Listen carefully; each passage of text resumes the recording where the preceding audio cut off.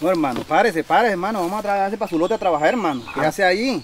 Póngase pila, hermano. Van a echar los dos de aquí y usted relajado ahí. No se mate tanto por otro.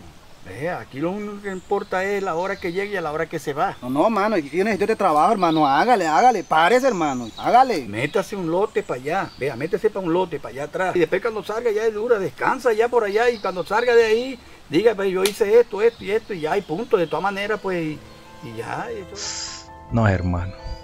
La productividad está muy baja. No, yo creo que mi papá tenía la razón. La palma no es el negocio. Voy a tener que vender el cultivo. Para esa pobre gente se va a quedar sin trabajo y a mí me va a tocar volver a empezar desde cero. Bueno, miremos a ver qué solución encontramos.